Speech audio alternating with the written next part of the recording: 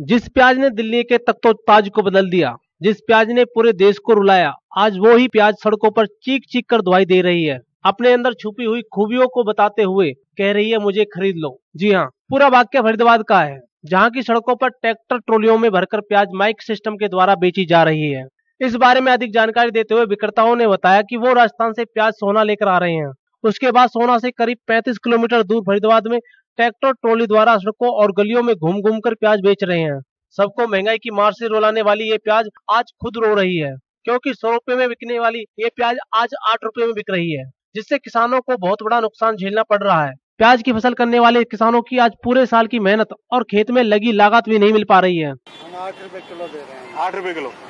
इस प्याज ने कभी दिल्ली की सरकार छीन ली थी आपको पता है? है। आठ रुपए किलो तो आप बेच रहे हैं तो आपको क्या भाव पड़ रही होगी? हमें सात रुपए पड़ रही है छह रुपए पड़ रही है अपने पेट के लिए कर रहे हैं। अच्छा पेट के लिए कर रहे हो। कहाँ से लेके आए आप ये राजस्थान का सिक्कर का प्याज। यहाँ कहाँ से लेके आए आप? ट्रैक्टर ट्रॉली कहाँ से? हैं। सोना से।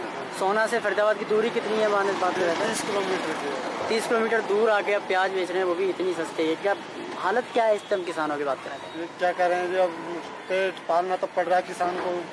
मजबूरी हो रही है बेचने की। भी तो इस तरह बहुत सस्ती दरों पे बिच रही है प्याज ये कर करना पड़ रहा है क्या करे? क्योंकि किसान फेंकेगा फिर इस प्याज को क्या करे? क्या लागत भी निकल पाती है इस तरह जिस रेट में लागत नहीं निकल रही है कहाँ से लेके आए हो प्याज ये? नहीं राजस्थान की राजस्थान की प्याज है। क्या आप बेच रहे हो? वही आठ सात आठ सात रुपए की। क्या आपको लगता है कि जो इतनी सस्ती प्याज बेच रहे हो अब इसका दाम भी निकल पा रहा है किसानों को मिल पा रहा है? भाई कुछ ना निकल रहा गुजारो कर रहे हैं। मजदूरी के लिए अपनी क्या कर? लगात जो लगाते हैं आप खेतों में वो निकल पा रही है इसको बेचने के बाद? भाई ना निकल रही थे। बहुत बहुत कसट का काम है। तो यहाँ कितनी दूर से चलकर आप आए ट्रैक्टर ट्रॉली लेकर यहाँ से कम से कम पैंतीस किलोमीटर होगा यहाँ से। फरदाबाद पहुँचे प्याज बेचने के लिए। कैसा रिस्पॉन्स है? लोग खरीद रहे हैं प्याज? हाँ खरीद रहे, कोई खरीद रहा, कोई ना खरीद वहीं किसानों की दुर्गति को लेकर मार्केट कमेटी के चेयरमैन मुकेश शास्त्री से बात की गई तो उन्होंने अपने ही फरीदाबाद से भाजपा नेता, केंद्रीय मंत्री कृष्णपाल गुर्जर, कैबिनेट मंत्री विपुल गोयल और सीपीएस सीमा त्रिका के खिलाफ तीखी प्रतिक्रिया देते हुए कहा, उनके नेता रियून काटने में व्यस्त हैं और किसानों की हालत दिन प्रतिदिन खस्ता होती जा रही है। आज किसानों को पाई पाई के लिए मोहताज होकर भीख मांगनी पड़ रही है। कुछ किसान तो कुछ किसान तो कर्जे में डूब जाने के बाद आत्महत्या भी कर रहे हैं। जिसके जिम्मेदार उनके नेता हैं। सरकार को किसानों की फ़सल के लिए नीति बनानी चाहिए और ग्राहकों और किसानों के बीच में आने वाले मुनाफाखोरों को बंद कर सीधे टैक्स लगाकर खरीदना व बेचना शुरू करना चाहिए। मैं ये कहना चाहूँगा कि आज किसान इतना दुखी है, जो किसान हमारे जनता के लिए एक अनाज पैदा करता है, एक सब्ज़ी पैदा करता है, आज वही पाई पाई के लिए दुखी है। वो एक एक पाई के लिए इतना दुखी है कि मंत्री लोग कोई सुनते नहीं है, हमारे कृष्णपाल जी हैं हमारे विपुल गोयल जी है सीमा त्रिका जी है, रोज रिवर तो काट रहे हैं, लेकिन किसानों की सुध लेने वाला कोई भी नेता नहीं है। जिस नेता से बात करें, कभी चेयरमैन को पूछते नहीं, कभी किसी और नेता को पूछते नहीं छोटे छोटे कार्यकर्ता हैं, जो कि रीढ़ की हड्डी होते हैं। हमारे भारतीय जनता पार्टी की रीढ़ की हड्डी हमारे छोटे छोटे नेता हैं छोटे छोटे कार्यकर्ता हैं उनकी सरकार में कोई पूछ नहीं है। कोई उनको नहीं पूछता। मेरे को चेयरमैन बनाया गया, नहर पार मार्ग कमेटी के रोड बन रहे हैं। जिनको कभी चेयरमैन को नहीं बुलाते, केवल चौधरी कृष्णपाल जी आकर रेवन काट देते और चले जाते हैं। हमारे यहाँ किसानों की कोई नहीं सुनता, किसानों के दर्द की कोई नहीं सुनता।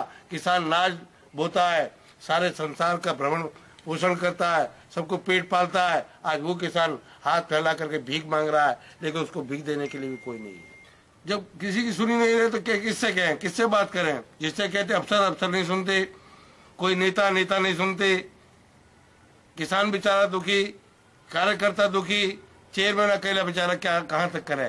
चेयरमैन तो फिर भी पूरी ताकत लगा रहा कि हमारी पार्टी, भारतीय जनता पार्टी लट की तरह अडिग रहे और आने वाले दस साल तक राज करे। लेकिन करे क्या ये नेता लोग?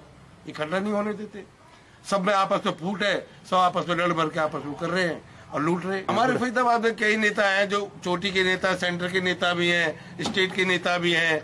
दोनों तीनों सब आपस में एक दूसरे के प्रतिद्वंदी हुए पड़े हैं, जिससे आम जनता व कार्यकर्ता इतना दुखी है कि आज उनके पास खड़े होने के लिए तैयार नहीं है। श्री मनोहर लाल जी से यही कहना चाहता हूँ कि आप ज़्यादा से ज़्यादा ध्यान आकर्षित करें किसानों के ऊपर।